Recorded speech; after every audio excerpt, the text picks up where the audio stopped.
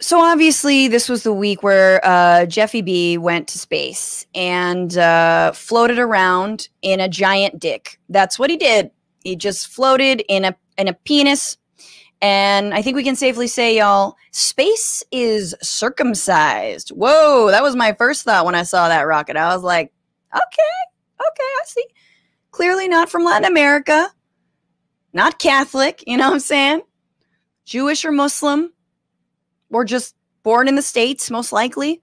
Very small balls, just little small babies just hanging on. You know, interesting move. But that makes sense. Being a giant dick and having no balls is exactly what Jeff Bezos is. As a person, as a billionaire, excuse me, as a trillionaire, uh, I want to talk obviously about just how egregious it is that billionaires are going to space on a year like this. But let's look at some of the things uh, that he said about his magic trip into space. Um, Jeff Bezos says his launch to space gave him greater appreciation of the Earth's fragility. That life giving shell of air seems sizable from the ground. Quote, but when you get up above it, what you see is actually incredibly thin, this tiny little fragile thing. And as we move about the planet, we're damaging it, Bezos said, referring to greenhouse gas pollution. It's one thing to recognize that intellectually, it's another thing to actually see it with your own eyes, how fragile it really is. Almost like you could own it, you could have it, you could crush it cue the scene from Charlie Chaplin's The Great Dictator where he's just playing with the globe. Na na na na na. I don't know what song plays at that point. Um okay, buddy. Jeff Bezos realized how fragile life is now. It didn't take uh, his workers being like, "Hey, I'm dying on the job. I'm sweating profusely and I need a water break." And not be docked pay for it. Didn't take that. It didn't take them trying to unionize in Bessemer, Alabama.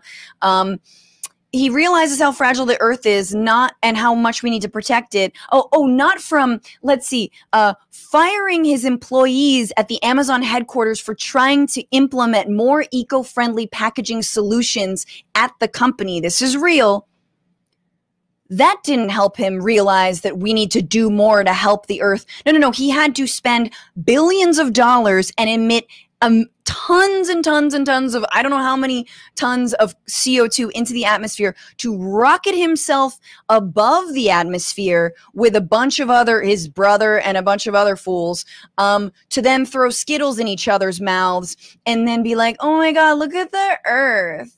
It's so cute can I own it? Oh my God, I already kind of do. Maybe we should keep it.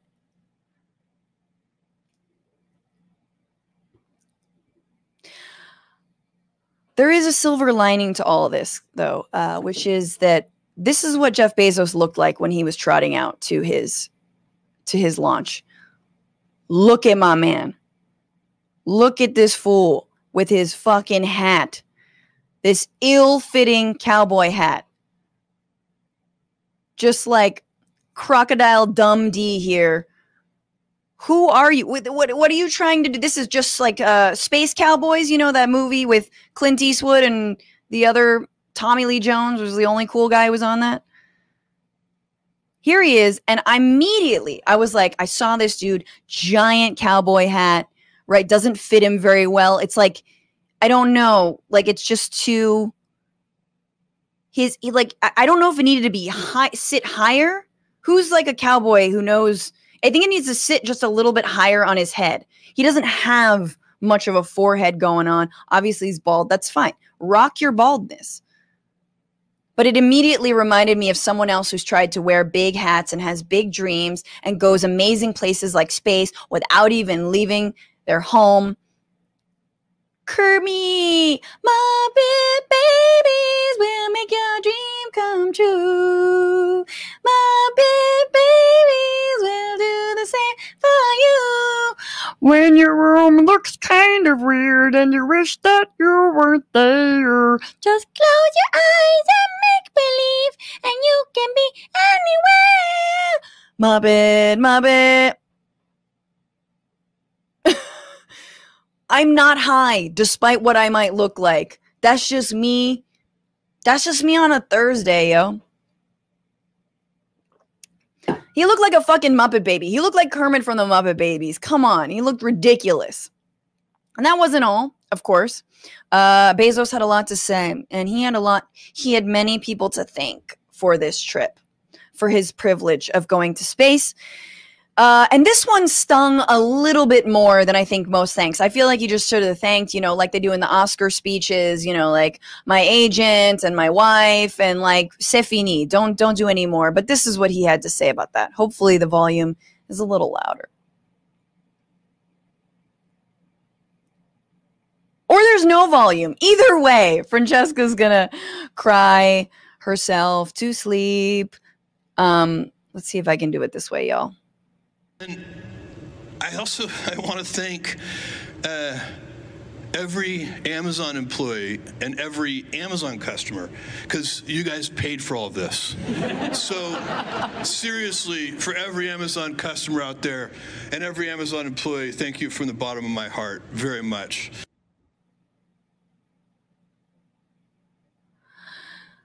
Every Amazon customer, uh, you know, when you're too lazy to go get uh the right kind of screwdriver from your local hardware shop, when you don't support local businesses and you instead support my tentacled monopoly uh uh capitalist hellscape um you know, you're really helping my dreams and I want you to know. Like I am think I I looked at my Amazon purchases, which have only been like 5 in the last like year.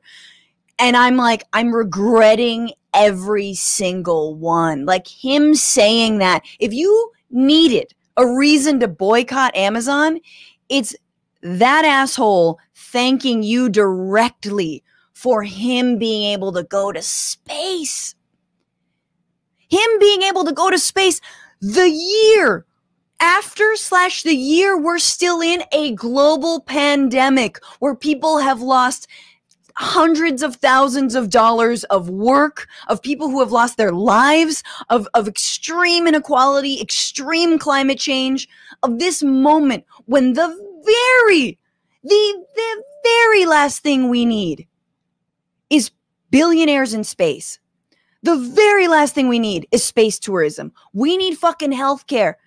You guys know the meme, just the meme like, healthcare, please. Healthcare, please. How dare you? So that's the customers. So all y'all who are like, I don't know, I have to shop on Amazon. No, you don't. You don't go if if the, if somebody advertises on Amazon, obviously you go to their website specifically and you can buy it through their website. Will it take a little longer? Yeah. Will you have saved on exploitation? Yes. Also that. It's like when I stopped buying H&M clothing where I was like $6 for a dress. Like what a, who what are what are you hiding from me? Does this come with a, a note from a small child telling me to adopt it? Does it come with bloodstains of the working class? Because that's what it feels like this is. You're paying me to buy this dress. Something's not right here. So there's the customers. Then there's the workers. The same year that Amazon pulled out every stop uh, to prevent a, a, a factory floor from unionizing, the same year that Amazon has covered up COVID cases among its own workers, right? Whether it's here in the states or or in Europe the same year that they said keep working the same year that Jeff Bezos's wealth has like quadrupled he became a trillionaire. I don't even have the stats but you guys know we all know just how much Bezos made this last year. And now he's thanking them for this shit. Oh, you don't get sicker. You don't get more salt in wounds than this. So workers had something to say about it obviously they had thoughts. Um, Jeff Bezos thanked Amazon workers for paying his for his space flight. For some, the feeling isn't mutual. you don't say. So I quote, I can think of a lot of other things he could do with all that money he spent on better wages for starters, the homeless, the poor, mental health. Another current Amazon fulfillment center employee told Insider. I guess he's thanking us for putting the money in his pocket to do our to do so by our hard work, sacrificing our bonuses and stock options to make it possible, the Amazon employee in Indiana said. Amazon's hourly warehouse employees aren't eligible for stock options or bonuses. Mm, we'll get to more of that later. I feel like he just said that because he has a guilty conscience. He knows he's wrong for making money off treating workers like slaves. Slaves, the Staten Island employee said, referencing the grueling and potentially dangerous conditions of some Amazon workers. I don't think he feels guilty. I don't think you become a trillionaire. I don't think you systematically put businesses out of business uh, and evade that money, that much money in taxes, and then refuse uh, to allow your workers to unionize, and then wear this hat. You don't feel remorse. You're like, hell yeah, I look good. Kermit the Frog is what I was going for. What's going on, Frantifa? If you haven't already, subscribe to this channel right now. Hit that button. And also, you can become a patron and support the show every single week. Get access to bonus episodes and exclusive merchandise. Patreon.com slash bitchuation room. Do it.